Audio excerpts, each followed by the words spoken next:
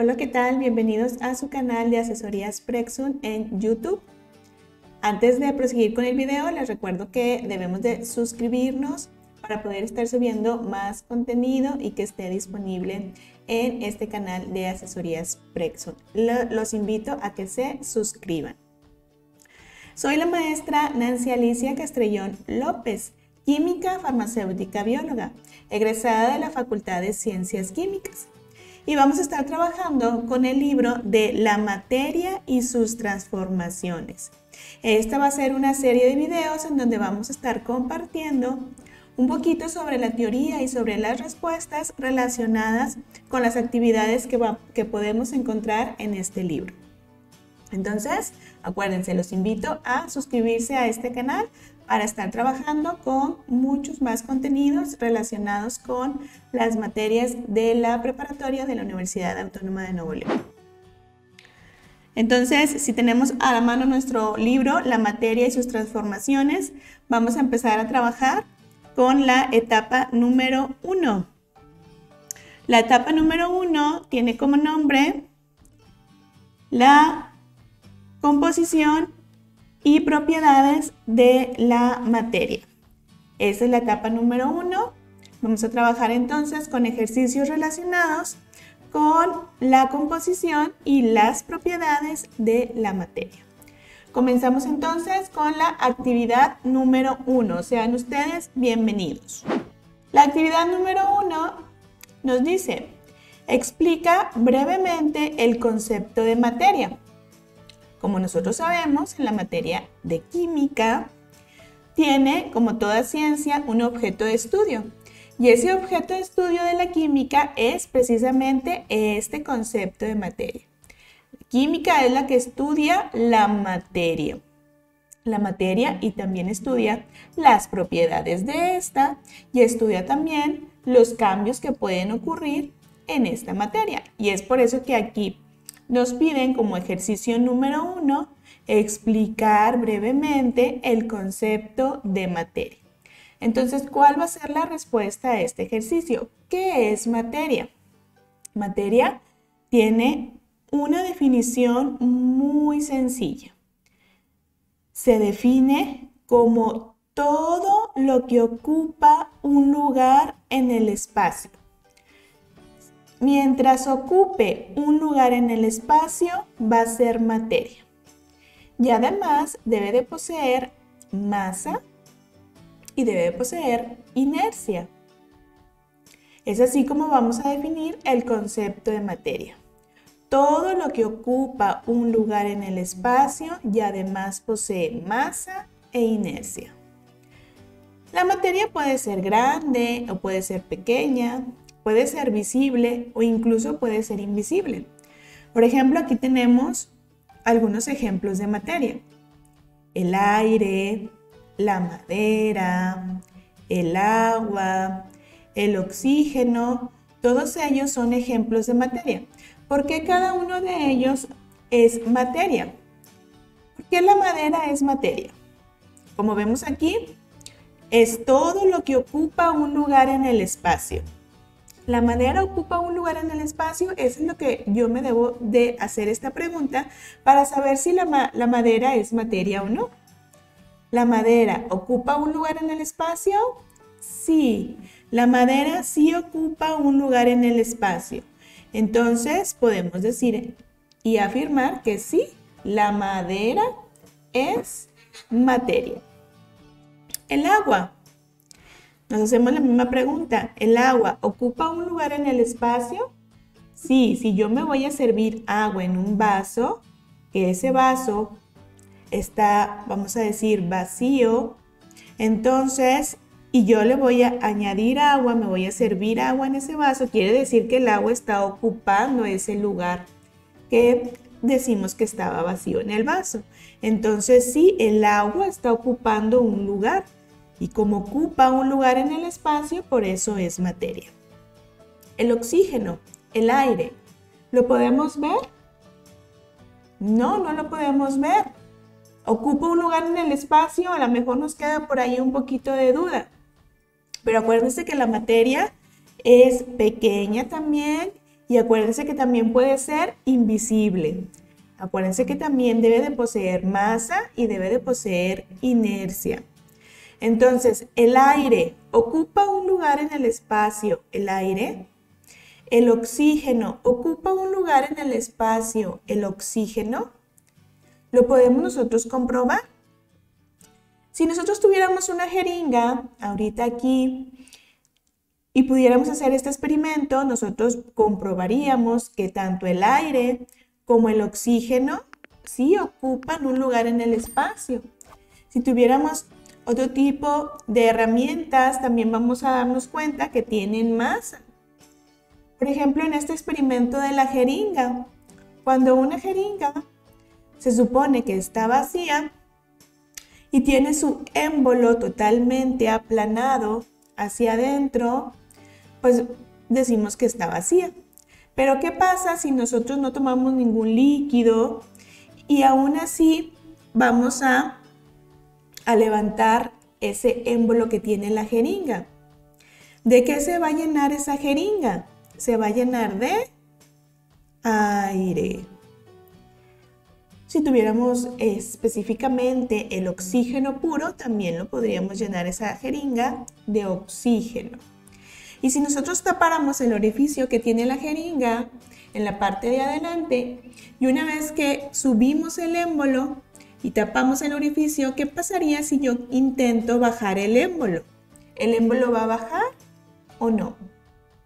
Si nosotros tenemos tapado el orificio de la jeringa, el émbolo no bajaría. ¿Por qué no baja? Porque está ocupado ese espacio, ya sea por el aire o si nosotros estamos en un ambiente puro de oxígeno, pues estaría ocupado por el oxígeno y entonces ahí estamos comprobando que la materia sí ocupa un lugar en el espacio, que entonces también el aire y entonces también el oxígeno sí son ejemplo de materia. Entonces, ¿cuáles serían ejemplos de cosas que no son materia? Hablar, por ejemplo, de las emociones, la ira, el miedo, el amor. ¿Eso ocupa un lugar en el espacio? ¿Tiene masa o tiene inercia? No. Entonces, la ira, ¿sí? Cualquier otra emoción pues sería entonces, decimos que no son materia. Otro ejemplo, la música. ¿La música ocupa un lugar en el espacio? ¿Posee masa, inercia? No, entonces la música no es materia. Y entonces tampoco las notas musicales, do, re, mi, fa, sol, no ocupan un lugar en el espacio, no tienen masa, y entonces no son materia. Entonces, para que algo en química sea materia, debe de ocupar un lugar en el espacio y además debe poseer masa e inercia. Ese es el concepto de materia.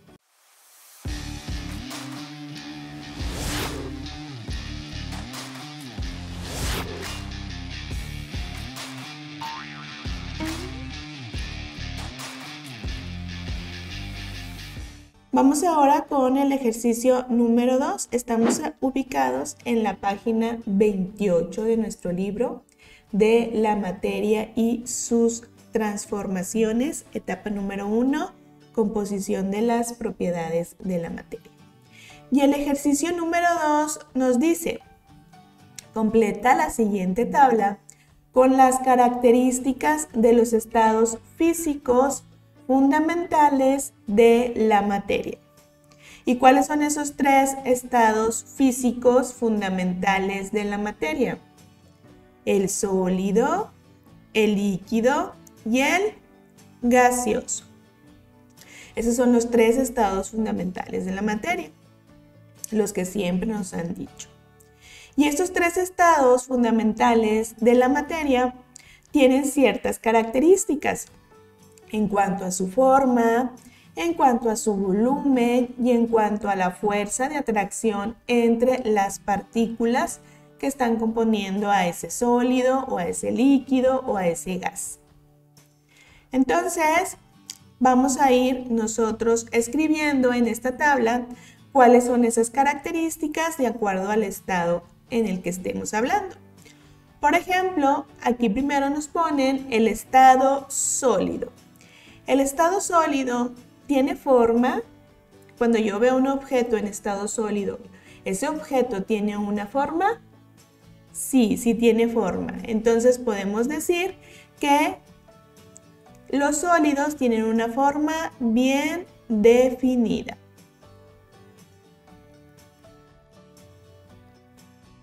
Los sólidos tienen forma definida. Volumen. ¿Los sólidos tienen volumen? Ocupan un lugar en el espacio y ese, ese espacio yo lo puedo medir mediante el volumen. Entonces, ¿y cómo es ese volumen? Varía o siempre es constante. Cuando tenemos algo en estado sólido, su volumen no varía. Su volumen es fijo. No varía el volumen en el estado sólido. ¿Y cómo es la fuerza de atracción entre las partículas? Porque un sólido es así, como su palabra lo dice, sólido, porque es tan duro dependiendo de, qué tipo de materia sea que esté en estado sólido. ¿Por qué presenta esa solidez? Porque la atracción entre las partículas que lo están componiendo es muy fuerte. Esa fuerza de atracción entre las partículas, cuando vemos los dibujitos del estado sólido, vemos si cada uno de estos puntitos sea una partícula, pues es un estado en, en las que las partículas están fuertemente unidas. Están muy unidas las partículas que componen al estado sólido. Y esas son las características del estado sólido. Tiene forma definida, volumen fijo y fuerza de atracción muy fuerte entre sus partículas.